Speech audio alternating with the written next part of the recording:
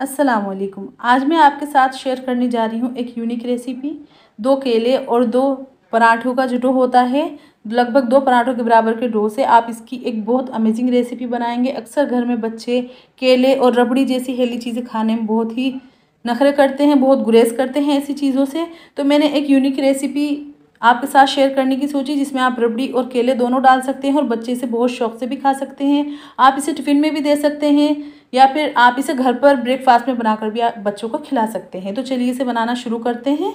इसे बनाने के लिए हमें कोई ख़ास सामान नहीं चाहिए। ये दो केले और थोड़ा सा आटा आपके सामने मौजूद है। पराठों का आटा जैसे कि सिंपली गूँथा जाता है। नमक और तेल डालकर हमने उसे रेडी कर लिया था। सबसे पहले हम एक बोल तैयार करेंगे एक पराठे की बराबर लगभग और हम उसकी एक बड़ी सी रोटी बेल लेंगे। रोटी बेलते वक्त आप ये ध्यान रखें कि रोटी थोड़ी सी पतली हो, बहुत मोटी रोटी हमको यहाँ पर नहीं बेलनी है तो हम इसकी रोटी तैयार कर लेते हैं।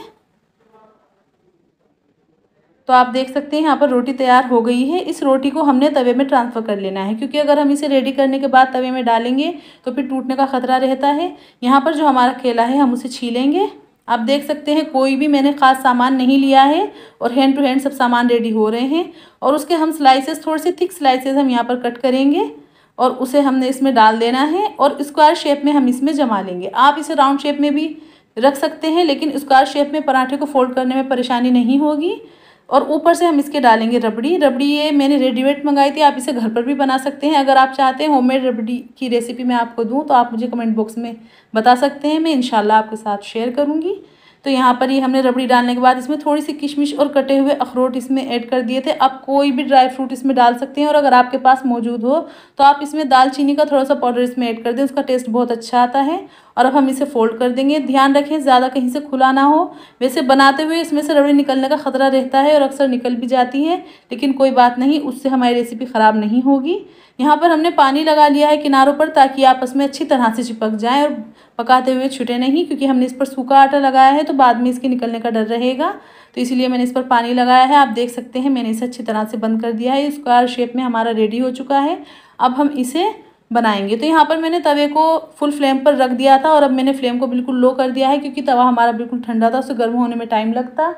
तो यहाँ पर लो फ्लेम पर हमने धीरे धीरे अपने पराठे को बनाना है, क्योंकि थोड़ा सा मोटा है, अंदर तक पकने में इसे टाइम लगेगा। तो इसकी साइड चेंज करने के बाद मैंने इस पर थोड़ा सा घी अप्लाई कर दिया है। आप रिफाइंड ऑयल लगा सकते हैं या फिर मक्खन भी आप इस पर लगा सकते हैं, लेकिन देसी घी से ये ज़्यादा अच्छा लगेगा।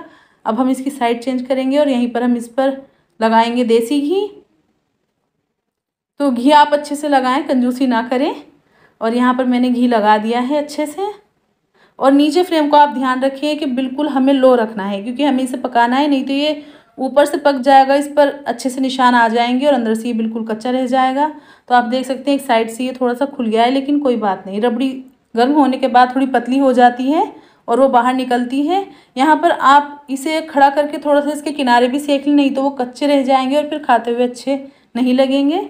तो मैंने चारों तरफ़ से इसके किनारों को सेक लिया है। आपको मेरी रेसिपीज़ कैसी लगती हैं प्लीज़ मुझे बताएँ। और मेरी आपसे हम्बल रिक्वेस्ट है कि अगर आपको मेरी रेसिपी अच्छी लगे तो मेरे चैनल को सब्सक्राइब किए बिना नहीं जाइएगा और मेरी वीडियोज़ को लाइक कीजिए, ज़्यादा से ज़्यादा शेयर कीजिए, मेरी हौसला अफजाई कीजिए।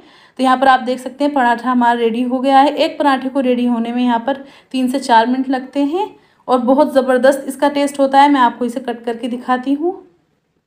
और ये इतना हेवी होता है कि एक पराठे से ही इंशाल्लाह आपका पेट भर जाएगा। तो ये इसके ऊपर हम थोड़ा सा हनी स्प्रेड करेंगे ताकि इसका टेस्ट और ज़्यादा इन्हेंस हो जाए। तो ये देखिए हनी हमारा हमने इस पर डाल दिया है और बहुत ही ये टेस्टी बना है। आप इसे घर पर ट्राई कीजिए और अपनी फैमिली के साथ एंजॉय कीजिए। कैसी लगी रेसिपी मुझे कमेंट बॉक्स में बताइए। अपनी फैमिली को आप इसे बनाकर खिलाइए। आपके बच्चों को, बड़ों को, ये सभी को बहुत पसंद आएगा और मुझे दीजिए इजाज़त। अल्लाह हाफिज़।